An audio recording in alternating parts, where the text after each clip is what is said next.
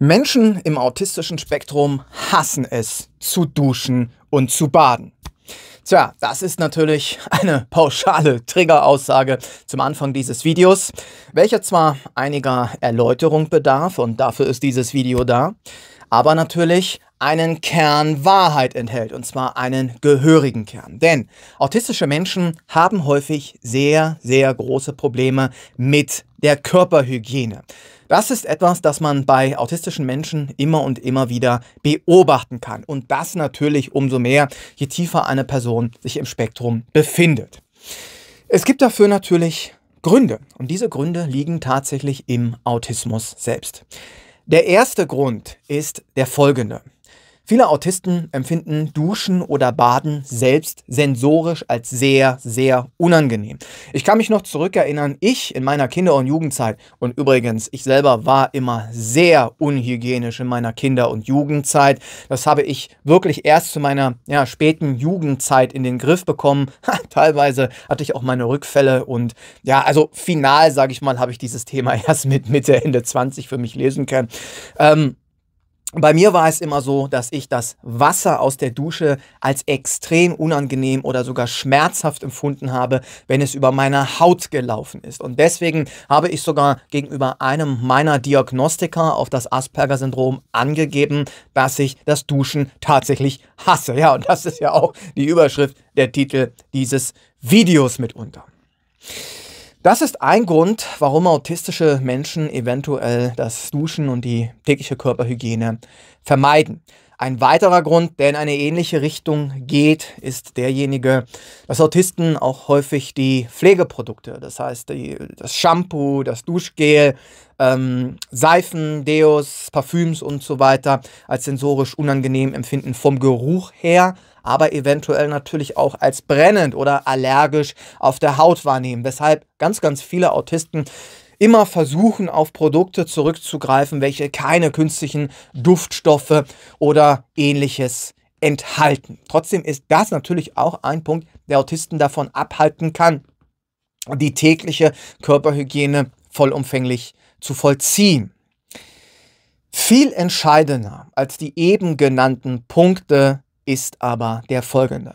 Die für Autisten so typischen Schwierigkeiten mit den exekutiven Funktionen, die exekutive Dysfunktion. Kurz zur Erinnerung für die Leute auch natürlich, die ähm, auch neu auf diesem Kanal sind und noch nicht so viel über das Thema Autismus wissen. Exekutive Funktionen, das sind die neurobiologischen Strukturen in unserem Gehirn welche ja dafür notwendig sind, dass wir Handlungen planen und durchführen können, dass wir uns zu bestimmten Tätigkeiten motivieren können, dass wir aber auch mit Tätigkeiten, mit denen wir einmal angefangen haben, aufhören können, willentlich diese Tätigkeiten beenden können. Ja, und diese exekutiven Funktionen sind typischerweise bei Menschen mit Autismus beeinträchtigt, bei dem einen mehr, bei dem anderen weniger. Und ja, für die, die neu sind, richtig, diese Defizite bei den exekutiven Funktionen sind auch der Grund dafür, dass dir als mein autistischer Zuschauer alles doppelt und dreifach so schwer fällt wie den Leuten in deinem Umfeld. Ja, und diese Defizite in den ähm, exekutiven Funktionen führen halt auch einfach dazu, dass Autisten es sehr schwer dazu haben, den Willen aufzubringen, die vollständige Routine der äh, Körperhygiene zu vollziehen. Ja, sich eben dann auch zum Duschen zu zwingen, durch Willenskraft, sich durchzubeißen, sprichwörtlich, ähm, wenn man zum Beispiel auch das Duschen als unangenehm empfindet. Das ist tatsächlich einer dieser ganz, ganz großen Faktoren. Dieser Faktor der hat einen fließenden Übergang zu dem nächsten Grund, warum Autisten häufig Probleme mit der Körperhygiene haben. Und zwar plakativ gesagt, sie haben keinen Bock. So, sie haben zum einen keinen Bock, also ich meine, wer hat schon Bock darauf, die, ähm, diese langweiligen, äh, äh, muss man einfach abarbeiten, Routinen zu verziehen, sind wir doch ganz ehrlich. Also großen Spaß hat da wahrscheinlich der wenigste bei. Aber natürlich exekutive Funktionen zum einen verhindern Autisten dabei, es trotzdem zu tun, obwohl sie keinen Bock darauf haben. Sie haben aber auch geringere Anreize aus dem sozialen Umfeld. Das ist jetzt der nächste Punkt. Hier ist der fließende Übergang, weil ja eben Autisten auch häufig gar kein soziales Umfeld haben.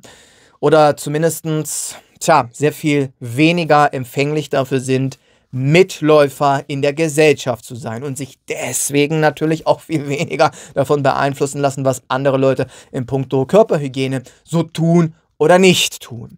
Und das betrifft natürlich auch, ja, das ist jetzt ganz wichtig zu vollziehen, ja, ähm, das betrifft auch das Thema Mode, das betrifft bei Frauen insbesondere natürlich das Thema Schminken, das betrifft sich die Haare zurechtzumachen, eben da bei der Mode in der Gesellschaft, das, was alle Mädels oder alle Typen so machen, Tagen, was die da so veranstalten, da sich eben mitziehen zu lassen, Mitläufer zu sein. Ja, das sind Autisten in aller Regel nicht.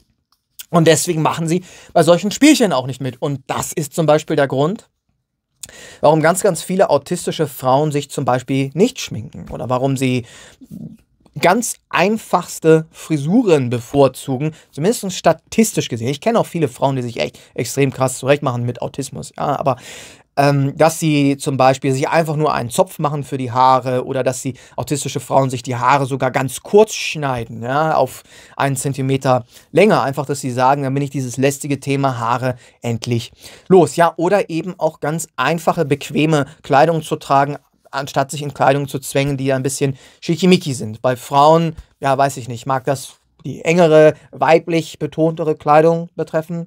Bei Männern betrifft das auch das Tragen von Anzügen, von Hemden und so weiter und so fort. Ja, und ähm, so ist es natürlich tatsächlich auch so, dass ich in meiner Kinder- und Jugendzeit, da kommt jetzt zum Abschluss noch eine Anekdote von mir, ähm, dass ich in meiner Kinder- und Jugendzeit viele, viele, und das ist jetzt der letzte Punkt, der ist aber, der, der ist das Thema Mode, ja, viele, viele Jahre bis, jetzt muss ich mal nachdenken, ich habe irgendwann so in der zweiten Klasse angefangen und bis ich zwölf war, das durchgezogen, ja. Ah, sechs, sieben, acht, hm, hm, hm, vier, fünf, vielleicht sechs Jahre, dass ich nur und ausschließlich schwarze Kleidung getragen habe. Und ich habe übrigens immer noch eine Neigung dazu, nur schwarze T-Shirts zu tragen.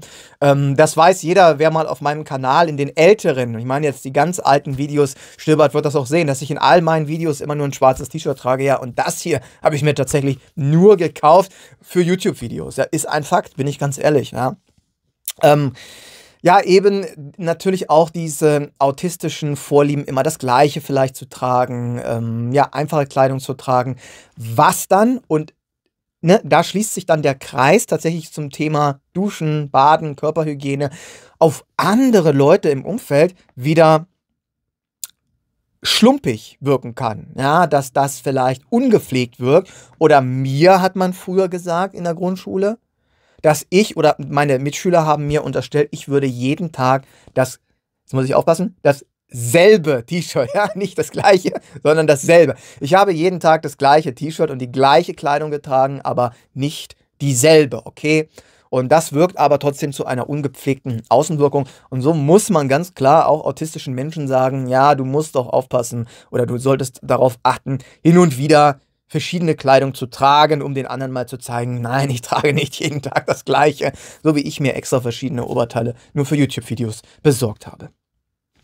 Ja, das waren einmal ein paar Punkte zum Thema Autismus und ja, ganz grob gesagt Körperhygiene, warum der Autismus tatsächlich das Ausführen von ähm, Routinen zur Körperhygiene und zur Körperpflege negativ leider beeinträchtigen können. Vielleicht noch ein letzter Satz dazu, gerade auch im Hinblick auf das, was ich äh, zu den exekutiven Funktionen gesagt habe. Übung macht hier den Meister. Tatsächlich fehlt Autisten häufig der Anreiz und die Motivation, Routinen der Körperpflege zu etablieren. Aber wenn man diese Routinen erstmal hat, dann wird es leichter. Und ja, jeder sollte versuchen, sich dort eine gute Daily Routine anzugewöhnen, seine Körperpflege zu vollziehen. Weil es halt einfach das eigene Leben, und sind wir ganz ehrlich, das Leben der Mitmenschen angenehmer macht. Ja, für dieses kleine Topic soll es das mal gewesen sein. Ich hoffe, ich konnte euch ein bisschen informieren, ein bisschen inspirieren, euch eine kleine Motivation geben. Ähm, das Thema Körperhygiene anzugehen. Wenn ihr mich und dieses ganze YouTube-Projekt unterstützen möchtet, werdet von Herzen gerne Kanalmitglied. Abonniert natürlich gerne hier für mehr Autismus-Videos. Jede Woche ein neues Video zum Thema Autismus. Ansonsten haltet die Ohren steif und bis zum nächsten Mal.